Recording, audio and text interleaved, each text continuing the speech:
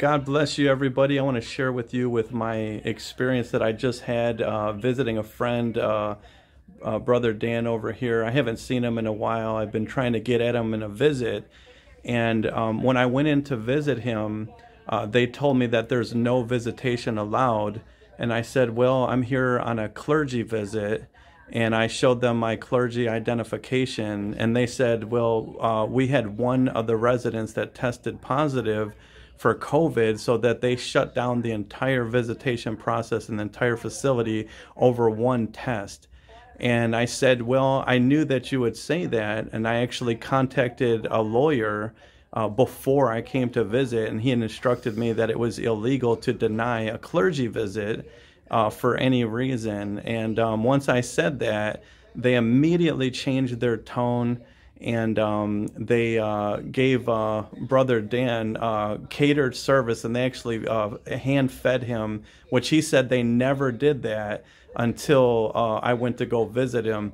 And so I think what's happening in some of these nursing homes is because they're not getting monitored by the outside community, they're pulling stuff and they're using the COVID as an excuse to not give the proper care that they normally would had they've had outside visitors monitoring what they're doing. They're using COVID as an excuse to get away with a lot of uh, things that they normally should be doing.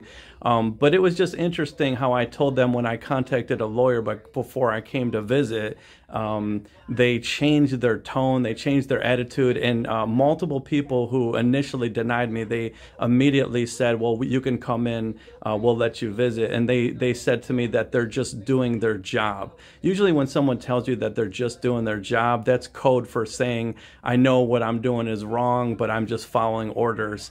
Um, but uh, brother Dan here, he's a great man of God. He's been my Bible study teacher for uh, over a dozen years, and I think it's proper. Jesus said, "If you visit those that are in hospitals or sick, you visited me." So, uh, brother Dan, you want to share anything? Well, My healer. Amen. And God is sufficient. Amen. And uh, Brother Joseph is doing what the Bible says to do. For those that are sick, go visit them. Those that are in prison, go visit them. And uh,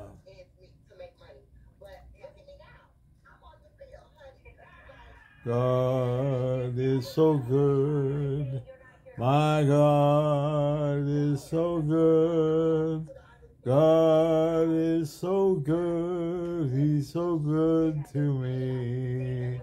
He answers my prayer, He answers my prayer, He answers my prayer, He's so good to me.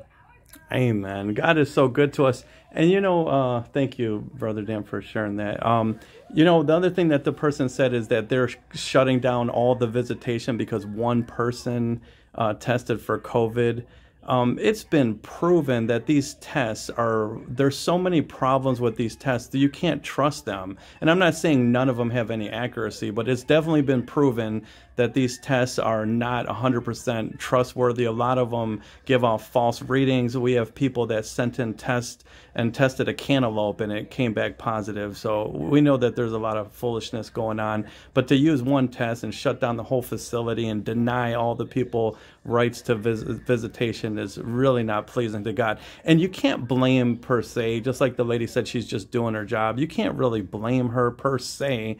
Um, but whoever's uh, orchestrating these policies um, that are denying people their rights to visitation, it's it's crazy. But, but if you're a clergy and you're a pastor, you have a right to stand up to these things. Uh, and I encourage you to do that. God bless you guys. Be blessed in Jesus' name.